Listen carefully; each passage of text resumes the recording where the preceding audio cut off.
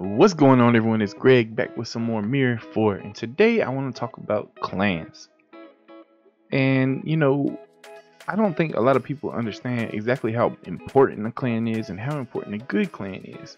You know, a lot of times in games you need to have a clan, sometimes you just make your own, you get some random people in there or you join a random one. But in MIR4, clans are very, very, very important. And it's important for your advancement in the game. Even more so important is if you have a clan that is owning a valley. The ones that don't have a valley, it just is is a lot slower for those folks. So let's get into you know the general benefits of a clan. You know, in the clan we have multiple techs to work on. You have a clan development, which is going to be just you know stuff that the clan can do, space in the storage, um, you know, there's some things to target in here, such as Scripture Hall, uh, to speed up the tech evaluation, but nothing in here like necessarily directly impacts the player, except maybe like Trading Depot in terms of the items that are on the shop and stuff. But when you get into clan refinement, this is where things really take a turn. In clan refinement, you have additional stat boosts, such as physical attack, you got physical defense, you got boss uh, attack damage, monster attack damage. Guys, all this is are boosts to your character that are permanent. Like if I left the clan right now, I would lose power. My power would go down because I'm missing all of these stats. If you look at clan uh, warfare, this is stuff you need to develop to advance, you know, the clan in terms of war and PvP. Then you have some activation tech. We don't quite know how this works. In my opinion, the way this works is you have to charge this up and then you get one hour of uh, of time of the, on the EXP boost, which is currently at four percent. For forty eight thousand here, th that's just not worth it. This could be an in-game thing, like once you have everything else filled out, but right now it doesn't seem like anything that's actually worth it. So you get some benefits from the tech. What else do you benefit from? Well, support. You can support people, and people can support you to speed up your uh, different things you got going on, like you're unsealing boxes or you know working on your towers. They can help advance that. Then supply. All this stuff you can do, you do most of the time on your own anyway. You're going to get clan points as well as give some resources to the clan. And then under clan gifts, everyone who runs raids is you're in a very active clan, you're going to be filling up this gift box. And you'll get this gift box, and you also get a lot of gifts under uh, common. And if you have anyone in your clan that's spending, you'll get some gifts under lucky. I actually get quite a bit from here. It's, it's very, very nice. The clan shop. This is by far like one of the things you're definitely going to need because promotional mats are so hard to get.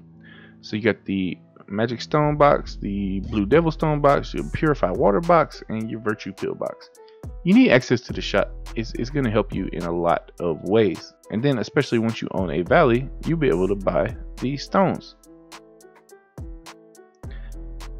Um, in terms of warehouses where you're going to donate to the clan, there is some targeting and stuff like that. Diplomacy, you can ally with other clans. That's very useful as well. Expeditions are huge. So this is really a, a huge thing because if you're in a clan that maybe only can do like one fox spirit beast, that's all the materials you can get that week. In our clan, if we can run everything, which we had up to this point, we haven't finished uh, Red Moon Devil. Hopefully this week, maybe. But right now, we run two Fox Beast Spirit, two Demon Bulls, and two Hell Rock Fiends under in like 20 minutes, and we get a ton of these rewards and resources. And just now in the latest patch, they add clan challenge. So again, you need to be in a nice, active, strong clan. So you can get through the challenge and get these nice materials. Then that's expedition. Uh, we talked about tech, supply, all this good stuff. So this is these are all benefits of the clan. Now, what if you own a valley? What does that mean? That means you're gonna get a ton of resources into the clan. Let's take a look at this territory screen and you can see here the daily yield is what's being produced in out of the valley which is 79 million the warehouse capacity we have like 24.9 million in the warehouse. You can see this on the other ones as well. And if I go into the warehouse, you can see the uh, dark steel storage as well as the income, what you're getting. And if you look here, you can see on about a daily basis that the um, Bicheon Valley is generating around almost 25 million dark steel for the clan. From there, it could be distributed to individuals, which before this recent update, you would have to put it on the merchant at a low price and hope that your your clan mates get it in a quick enough time period before anyone ninjas it. But now they added this nice feature, you can do an individual distribution. Then you can also distribute to the clan warehouse and you could send it to other clans as well. So that's why alliances are very good to have. And I think that really about covers it. From there, once you have all that uh, dark steel, it allows you to put those stones pieces on the shop. And it also gives you something, an incentive to offer your clan, the people in the clan. So maybe you have a rule, you need to show up for a war. And then each week you can get a distribution of 1 million dark steel or something like that. You know, whatever it is. So, you know, I don't know what our distribution is this week, but Previously, I was able to get 2 million dark steel for 200 gold, which is a pretty darn good deal. So that that is really goes over that really covers the benefits of a clan. Like you really must have a clan. And being in a clan that owns a valley is even better. Now, there are also bad clans out there. You might get a clan that owns the valley, but maybe the leader is corrupt, run, you know, takes all the dark steels and runs.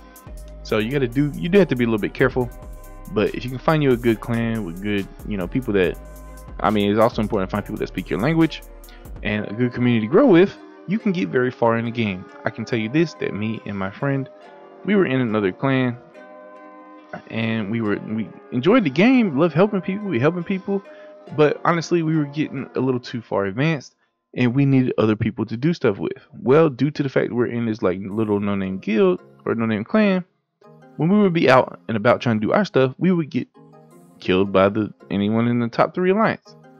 So we did made a decision that okay, hey, this is not working out. We need to be able to advance in the game. We need to, you know, see if we can join another clan. And that's when we got in contact with some other folks, and that's how we ended up in this clan. It has, uh, you know, a portion of Chinese speaking and a portion of Brazilians. And we have a few English folks, and a few of those folks can speak English. So overall, the communication is not terrible, but you know, it, it is what it is. We're all working together, we're all advancing together, and that's what counts. You need to be with people that are advancing at the same pace as you, and so that you can, you know, get far in the game. If you're just super strong, but you are, you know, the strongest person in your clan, it's not worth that in this game. You are better off being in a strong clan that's doing like multiple expeditions, that's getting the valley and things like that. So I hope this information helps. I'm not trying to discourage anyone. Like the game is still fun to play. I still would have played the game if I didn't get in the clan, but it does make a difference. You need your people to be active, and you don't even necessarily have to own a valley. Just have a nice active clan that's working together. So I hope, like I said, I hope this information was helpful. If you guys like this little tidbit of information, hit the like button. If you're not subscribed yet, hit that subscribe button. Turn those notifications on, and I'll catch you guys in the next one.